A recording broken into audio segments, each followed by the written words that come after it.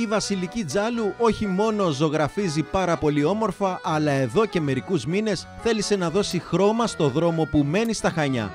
Έτσι, αν πριν η οδός Βιτσέντζου Κορνάρου ήταν ένας μονότονος δρόμος όπως και όλοι οι υπόλοιποι της πόλης, τώρα οι περαστικοί μπορούν να θαυμάσουν στους τοίχους των σπιτιών έργα που θυμίζουν τη θάλασσα, τα ταξίδια και τη φύση.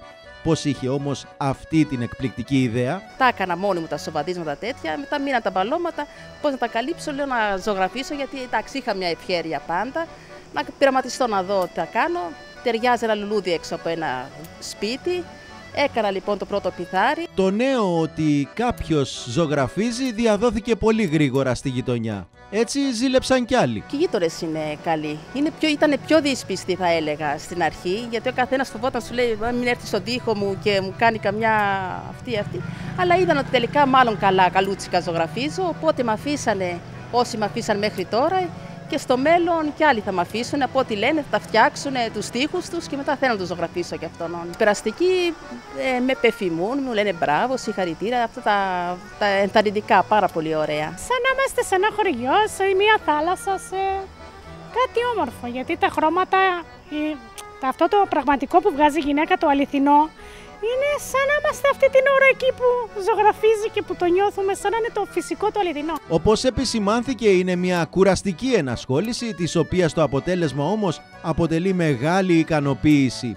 Η ιδέα αξιοποίησης ενός τείχου ωστόσο έρχεται ανάλογα με την κατάσταση στην οποία βρίσκεται και σε συνδυασμό με το υπόλοιπο περιβάλλον. Το προστάζει το ίδιο, ο ίδιος ο τείχος, ο ίδιος ο καμπάς. Δηλαδή εδώ πέρα στη Στη γωνία είναι ο τείχος μπλε, βαμμένος από τους ιδιοκτήτες. Τι θα μπορούσα να κάνω, ε, θάλασσα.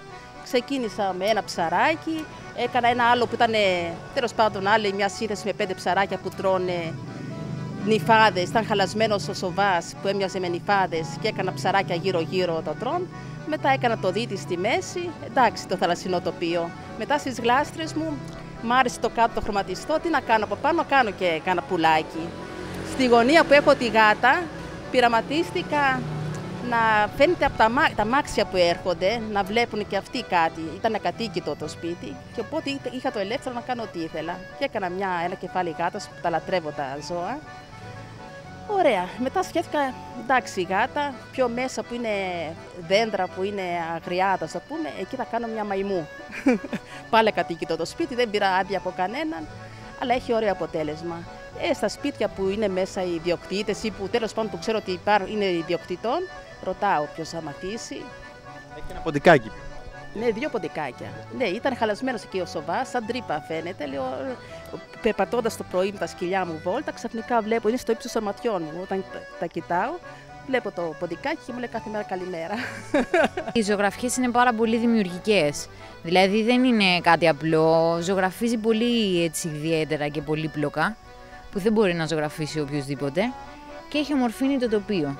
Έχει πολύ ωραία άβρα πάντως. Είναι πολύ όμορφα. Εγώ χαίρομαι να τη βλέπω να ζωγραφίζει. Έχει κάνει πολύ ωραία πράγματα. Βλέπω εκεί πέρα τη γάτα που έχει ωραία μάτια. Βλέπω τον πίθηκα εκεί που σκαρφαλώνει, είναι πολύ όμορφος. ναι, σαν ζούγκλα. Και εκείνο το λουλουδάκι σου θυμίζει κάτι από παλιά γειτονιά. Είναι πάρα πολύ όμορφο. Ελπίζω να το κάνει και κάπου αλλού και να προχωρήσει. Από τον περασμένο Μάιο σε καθημερινή βάση η οδός Βιτσέντζου Κορνάρου ομορφαίνει και μοιάζει παραμυθένια χάρη στην κυρία Βάσο που κάθε εβδομάδα έχει έτοιμα τουλάχιστον δύο νέα έργα.